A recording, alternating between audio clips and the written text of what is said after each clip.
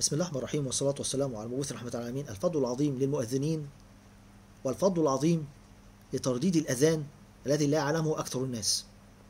الصحابة رضي الله عنهم كانوا يعلمون القيمة العظيمة للأذان وللمؤذنين ولترديد الأذان.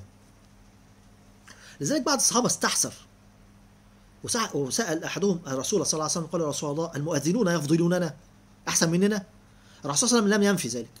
فقال له قل مثل ما يقول قل مثل ما يقول والمؤذن ثم سل تعطى. خلي بالكم حديث صحيح. يعني؟ اسأل ربنا سبحانه وتعالى أن يعطيك مثل أجر المؤذن تعطى. بعض العلماء قالوا مش هتاخد أجر المؤذن بالظبط وهذا صحيح لأن الاجر أصلا عظيم جدا. يعني هقول لحضراتكم بعض المراقب العظيمة للمؤذنين. لكن تستطيع أن تحصل ثوابا عظيما يعني نفترض مثلا 50% من ثواب الأذان أو 70% من ثواب تستطيع أن تحصله. لأن الثواب العظيم ثواب الأذان عظيم جدا. هقول لحضراتكم الآن ما هو ثواب المؤذن المؤذنين؟ ولو أنت فعلا عندك مانع شرعي يمنعك يمنعك من اذان مشغول جدا آه، ربنا سبحانه وتعالى لم- آه، لم يحبك بصوت جميل.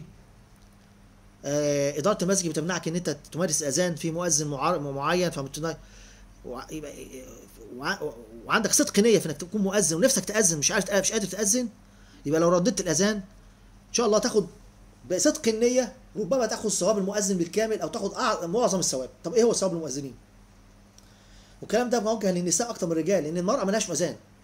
المرأة ملهاش أذان. ويكفي إنها تك- تحدث نفسها تقول يا رب لو كنت لو كنت رجلا لأذنت. وتردد الأذان مع كل مع كل مع, مع كل مؤذن مع كل مع كل أذان في الخمس صلوات ثم تسأل الله سبحانه وتعالى باسمه الأعظم أن يعطيها مثل أجر المؤذنين. طب إيه هو أجر الأذان؟ اولا هذا الحديث لا يقل عن درجة الحسن بإذن الله. المؤذن المحتسب كالشهيد المتشحط في دمه ولا يدود قبره. يعني إيه الحديث ده؟ يعني المؤذن المحتسب اللي بي- بيؤذن بدون أجر. احتسابا احتسابا للثواب فقط لا يبحث عن آه، شهرة أو مال أو أو أو يصل إلى منازل الشهداء. مش أي شهيد كمان ده شهيد المعركة الذي يقتل في سبيل الله ويسيل دمه في سبيل الله سبحانه وتعالى. ولا يدود قبره يعني يظل جسده إلى يوم القيامة. كالعلماء وحفظة القرآن والأنبياء طبعا لهم الشيء الثاني بتاخد أجر كل الناس اللي بتصلي في الجامع. تاخد أجر كل الناس اللي بتصلي في الجامع. طبعا كلنا عارفين الثواب العظيم لصلاة الجماعة. ف لو انت لو أنت رددت الأذان مع المؤذن بعدين تصلي على النبي صلى الله عليه وسلم وتسأل له الوسيلة والفضيلة بعدين تقول اللهم إني أسألك باسمك بس انك أنت الله لا إله إلا أنت الأحد الصمد الذي لم يلد ولم يولد ولم يكن له كفوا أحد. أسألكم إني أشهد بأنك أنت الله. لا إله إلا أنت الأحد الصمد الذي لم يلد ولم يولد ولم يكن له كفوا أحد. دي صيغة من الصيغ التي فيها اسم الله الأعظم. يا حنان ويا منان يا بديع السماوات والأرض. يا ذا الجلال والإكرام. يا حي يا قيوم. أسألك أن تعطيني مثل أجر المؤذنين في في المساجد بجوار بيتي. والله بعض الناس بعد ما سمعوا الدرس بيفتح التلفزيون يسمع يردد الأذان مع المؤذن في الحرم ويقول يا رب اديني زي أجر مؤذن في الحرم؟ بنيتي وأنا بردد. مش هتاخد زيه بالظبط طبعا لكن هتحصل ثوابا عظيما جدا بالمقارنة باللي ضيع هذه السنة العظيمة ما بيرددش. بدليل الرسول صلى الله عليه وسلم قال للصحابي قال له قال له المؤذنون يفضلوننا؟ قال له قل مثل ما يقول المؤذن ثم سل تعطى. يعني اسأل ربنا يدينك يديك أجر مؤذن يديك. خزائن الله سبحانه وتعالى. شوف الفرق بقى بين اللي بيردد الأذان واللي ما بيرددش الأذان. لذلك المرأة في بيتها تردد الأذان وهي في بيتها وهي قاعدة وتاخد ثوابا عظيما وهي في بيتها. عمل يسير وثواب عظيم جدا. يبقى بتاخد ثواب يبقى ال- ال- ال- المؤذن له ثواب كل الناس اللي بتصلي في الجامع. ده ثواب عظيم جدا جدا جدا. لو في 50 واحد بيصلي في الجامع كل واحد بيطلع بثواب صلاته بثوابه هو بس. لكن المؤذن ياخد ثواب كل المصلين في الجامع. طب الميزان يبقى عامل إزاي يوم القيامة؟ أنت متخيل؟ شيء شيء عظيم جدا. لذلك روي عن سيدنا عمر بن الخطاب وروي عن سيدنا عبد الله بن مسعود كانوا يقولون لو أني أعمل بالأذان ما هممت أن أحج أو أعتمر أو أجاهد في سبيل الله. يكفيني بس صواب الأذان. لذلك العلماء مختلفون. العالم الحافظ للقرآن أفضل عند الله سبحانه وتعالى أم أم المؤذنين؟ أم المؤذنون. طيب ده مش كده وبس. الرسول صلى الله عليه وسلم يقول في الحديث أطول الناس اعناقا يوم المؤذنون أطول أطول الناس اعناقا يوم القيامة. المؤذنون أطول الناس اعناقا يوم القيامة. العلماء قالوا أكثر من تفسير. قال أشرفهم وأعظمهم مرتبة. لأن أنت إحنا في اللغة العامية إحنا بنقول واحد بتقول أنت طولت رقبتي يعني شرفتني. ودي لغة دي, دي معروفة في الكلمة في اللغة العامية. يعني بنقول أنت طولت رقبتي. بعض العلماء قال لا لا يدركهم العرق. الناس كلها ستغرق في عرقها يوم القيامة. حتى يسيخ العرق تحت في باطن الأرض سبعين ذراعا. لأن الشمس هتكون فوق رؤوس العباد على قدر ميل. الناس هتنصهر من العرق. لكن المؤذن رقبته طويلة قوي فمش هيطول العرق. لأن بعض الناس هيجيبوا العرق الجامد. هيوصل لغاية هنا. بعض الناس قالوا الثواب العظيم اللي مستنيه يجعل يجعل العنق بتاعه تشرئب. يبقى شايف واقف في أرض المحشر هيشوف قصوره وجن في قصوره والنعيم اللي مستنيه في الجنة مش هيبقى عنده صبر. من الثواب العظيم اللي مستنيه. وفي رواية المؤذنون أطول الناس اعناقا يعني أكثر أسرعهم أسرعهم دخولا للجنة. لأن كان العرب قديما يقولون أعنق للناقة أي اترك لها الزمام حتى تسير سريعا. فأطول الناس اعناقا أي أسرعهم دخولا للجنة. شوف الثواب العظيم. ده مش كده بس.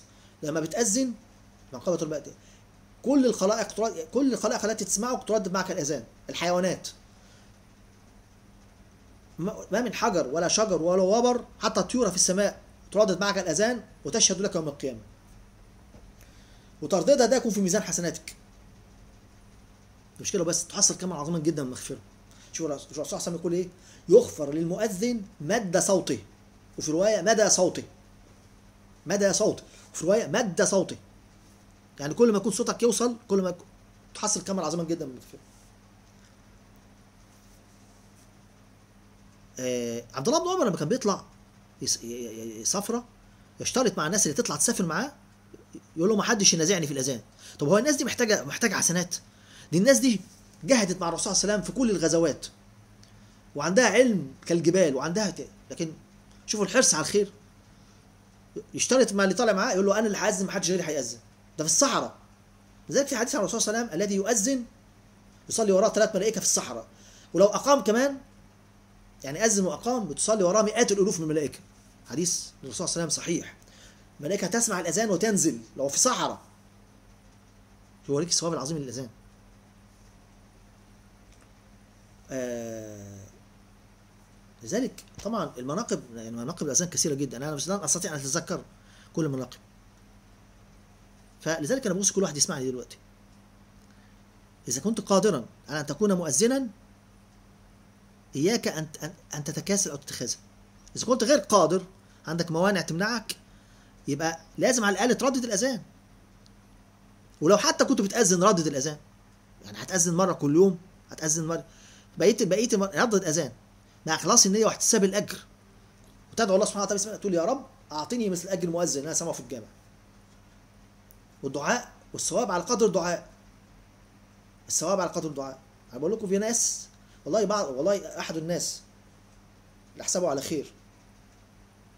عندما قلت له يعني درس كهذا أصبح المؤذن الرسمي لصلاة الفجر كل يوم. بقاله سنين بيأذن كل يوم في صلاة الفجر في, في الجامع كل يوم. شوف بقى الثواب في ثواب الفجر ثواب عظيم بياخد كل الناس اللي صلت تصلي الفجر كل يوم في ميزان حسناته. طب ده يبقى ميزانه عامل إزاي؟ فلو أنت قادر تأذن فعلا أذن. لازم تأذن. مش قادر يبقى على الأقل كما قال العلماء ما لا يترك ما لا يدرك كله لا يترك كله. مش قادر تحصل الثواب العظيم قوي إن تكون تكون أن تكون مؤذنا يبقى على الأقل ردد الأذان. تاخد 50% 70% 80% يمكن بصدق نيتك توصل 90% من الثواب بتاع المؤذن. لو أنت فعلا عندك مانع يمنعك من إن أنت تأذن. ولا ولا, ولا, وكما قال الإمام ابن القيم نية المرء خير من عمله. نية المرء خير من عمله. فكل ما كان عندك صدق نية. ف والمرأة في بيتها أيضا ترديد الأذان. فيبقى أنا أقدر أحصل. وعمل يسير. يعني إيه ماذا يعني إيه, إيه اللي هيديرك في إن أنت تردد الأذان مع المؤذن؟ بعدين تسأل الله ربنا سبحانه وتعالى يا رب اديني أجر المؤذن. دعاء. يا رب اديني أجر مؤذن الرسول صلى الله عليه وسلم قال سل تعطى. كلمة تعطى كلمة مطاطة. ربما تعطى كل- كل ما تتمناه. أو في السؤال أنت بتسأل الاخره مش بتسأل الدنيا يا رب اديني أجر مؤذن اللي أنا سامعه دلوقتي. فربنا يديك يديك يديك إيه بقى؟ الله أعلم. ربما يديك كل أجر مؤذن فثواب عظيم وعمل وعمل يسير جدا. يعني ترديد الأذان بروح رافع ايديا وداعي. إيه إيه العمل؟ وأنا قاعد. بالله عليكم. طب المؤذن بي بي بيروح الجامع وبي وبي وبي وممكن صوته يتنبح ويقف في الميكروفون. إنت هتحصل ثواب وأنت في وأنت في بيتك أو المرأة في بيتها. ثواب عظيم جدا. فأنا هكتب لكم الكلام الكلام ده كله تحت فيديو السخون شروط نشر هذا العلم في ثواب عظيم. من علم علما فانه أجر من عمل به يوم القيامة لا ينقذ ذلك كل يوم شيء. تشيش تفعيل الجرس والاشتراك في قناه الاسلام كل جديد. تساعدون على الشرط الطبيعي قولوا قولي هذا استغفر الله لي ولكم.